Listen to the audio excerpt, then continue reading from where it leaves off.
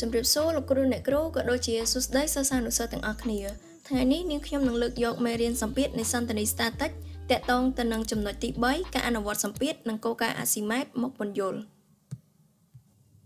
វត្ថុបំណងនៃមេរៀនរបស់យើងនៅថ្ងៃនេះគឺយើងនឹងសិក្សាហើយស្វែងយល់អំពីគោលការណ៍អាស៊ីម៉ែតនិងកម្លាំងដំណោលអង្គធាតុលិចទាំងស្រុងនិងអង្គធាតុអណ្ដែតចំណែកឯសូចនាករជោគជ័យវិញក្រោយពីចប់មេរៀននេះ យើងនឹងអាចអនុវត្តគោលការណ៍អាស៊ីម៉ែតនិងកម្លាំងដំណោលអង្គធាតុលិចទាំងស្រុងហើយនិងអង្គធាតុអណ្ដែតចូលមកដល់ចំណុចទី1តូចគោលការណ៍អាស៊ីម៉ែតនិងកម្លាំងដំណោល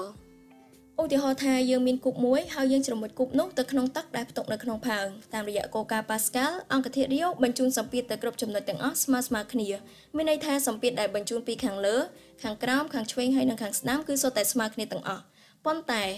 សម្ពាធនៃអង្គធាតុរីយ៉ូគឺកើនឡើងទៅតាមជម្រៅយើងមកមើលចំណុចខាងឆ្វេងហើយនិងខាងស្ដាំ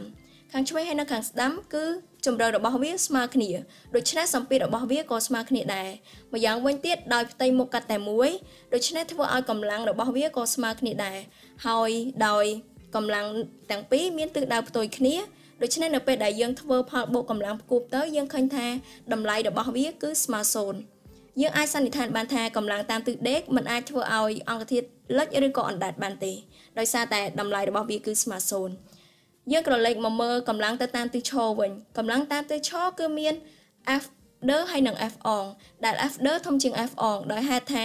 សម្ពាធរបស់វាគឺការឡើងទៅតាមជម្រៅចំណុចទី2គឺជ្រៅជាងចំណុចទី1ធ្វើឲ្យសម្ពាធនៅចំណុចទី2ធំជាងសម្ពាធនៅចំណុចទី1ហើយម្យ៉ាងវិញទៀតផ្ទៃមុខកាត់តែមួយធ្វើឲ្យ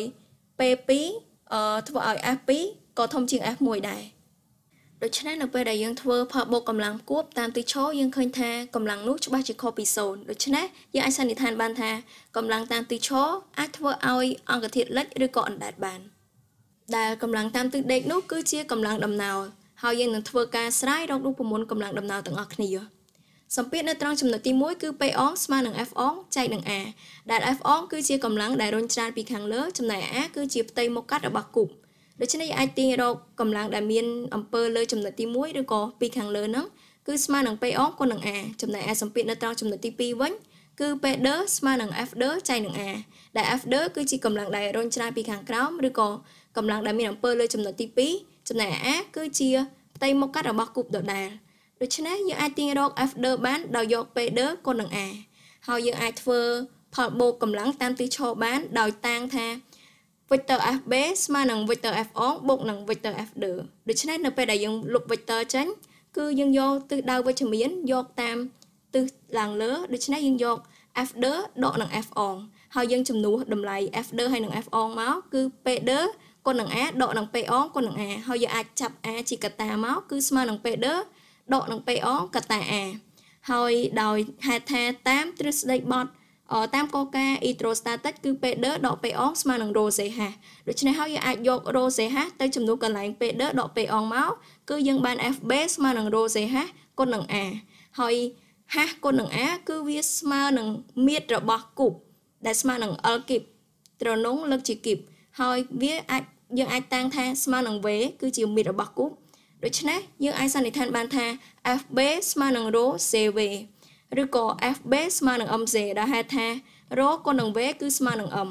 ដូច្នេះហើយកម្លាំងដំណោលគឺស្មើនឹងទម្ងន់របស់គូបដែលបានលិចចូលទៅក្នុងទឹកនោះតាមរយៈរូបមន្តខាងលើលោកអាស៊ីម៉ាតបានចងក្រងទៅជាគោលការណ៍មួយដែលពោលថាអង្គធាតុរឹងមួយដែលលិចទៅក្នុងសន្តានីបានរងពីផ្នែកនេះនៅកម្លាំងមួយដែលមានទិសឈរហើយមានទិសដៅពីក្រោមឡើងលើមានចំណុចចាប់ត្រង់ទីប្រជុំដំណោលនិងមានអង្គតង់ស៊ីតេស្មើនឹងទម្ងន់សន្តានីដែលញែកចេញ។ បានន័យថាប្រសិនបើយើងដាក់អង្គធាតុមួយដែលមានទម្ងន់30ញូតុននោះអង្គធាតុរាវឬក៏សន្តានីដែលញែកចេញក៏30ញូតុនដូចគ្នាដែរចំណុចទី2អង្គធាតុលិចទាំងស្រុងតែអ្នកទាំងអស់គ្នាមានចម្ងល់ទេថាហេតុអ្វីបានជានៅពេលដែលយើងលើកអង្គធាតុនៅក្នុងទឹកស្រាលជាងនៅពេលដែលយើងលើកអង្គធាតុនៅក្នុងបរិយាកាសហើយចម្ងល់នេះក៏នឹងត្រូវបានបកស្រាយដោយគោលការណ៍អាស៊ីម៉ែដូចគ្នាឧទាហរណ៍ថាយើងទម្លាក់អង្គធាតុមួយចូលទៅក្នុងទឹក ហើយនៅក្នុងទឹកអង្គធាតុគឺរងនៅកម្លាំង2គឺទី1ទម្ងន់របស់អង្គធាតុដែលមានទិសដៅចុះក្រោមហើយទី2គឺកម្លាំងដំណើរអាស៊ីម៉ែតដែលមានទិសដៅឡើងលើដោយហេតុថាអង្គធាតុលិចចូលទៅក្នុងទឹកដូច្នេះកម្លាំងដំណើរអាស៊ីម៉ែតត្រូវតែតូចជាងទម្ងន់របស់អង្គធាតុនៅពេលដែលយើងធ្វើផលសងរវាងកម្លាំងទាំងពីរយើងឃើញថាយើងទទួលបាននៅកម្លាំងមួយដែលមានឈ្មោះថាទម្ងន់ទំនងដែលទម្ងន់ទំនងនេះគឺជាទម្ងន់របស់អង្គធាតុនៅក្នុងទឹក ដូច្នេះយើងអាចឆ្លើយទៅនឹងសំណួរខាងលើវិញបានថាបានជានៅពេលដែលយើងលើកអង្គធាតុនៅក្នុងទឹកស្រាលជាងនៅពេលដែលយើងលើកអង្គធាតុនៅក្នុងបរិយាកាសដោយហេតុថាមានកម្លាំងមួយដែលជួយយើងឲ្យការលើករបស់យើងនឹងស្រាលជាងមុននោះគឺកម្លាំងដំណើរអាស៊ីម៉ែតចូលដល់ចំណុចទី3អង្គធាតុអណ្ដែតមានសំណួរសួរថាហេតុអ្វីបានជាអង្គធាតុអាចអណ្ដែតនៅលើសន្តានីបានដូច្នេះយើងនឹងធ្វើការបកស្រាយនៅចម្ងល់មួយនេះទាំងអស់គ្នាឧទាហរណ៍ថាយើងទម្លាក់អង្គធាតុមួយចូលទៅក្នុងទឹកដូច្នេះនៅពេលដំបូងយើងឃើញថាអង្គធាតុនោះបានញែកនៅបរិមាណទឹកឬក៏បរិមាណអង្គធាតុរាវចេញមកក្រៅគឺតិចតួចប៉ុណ្ណោះប៉ុន្តែនៅពេលដែលយើងបន្តទម្លាក់វាតទៅទៀតយើងនឹងឃើញថាអង្គធាតុនោះគឺបានញែកនៅបរិមាណទឹកចេញមកក្រៅគឺកាន់តែច្រើនហើយធ្វើឲ្យកម្លាំងដំណើរហ្នឹងក៏កាន់តែធំដែរដែលអាចធ្វើឲ្យអង្គធាតុហ្នឹងផុសឡើងលើបាន